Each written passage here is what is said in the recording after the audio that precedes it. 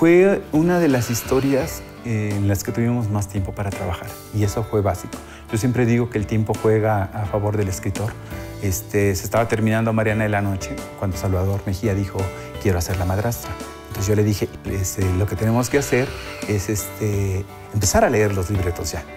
Entonces se leyeron con mucho tiempo, incluso teníamos un, un, resumen que hice yo para Salvador y para Liliana, pero entonces estaba padre porque todos manejábamos la misma información, ¿no? Cuando tienes tiempo, pues vas buscándole la manera de aderezar la telenovela de una mejor manera.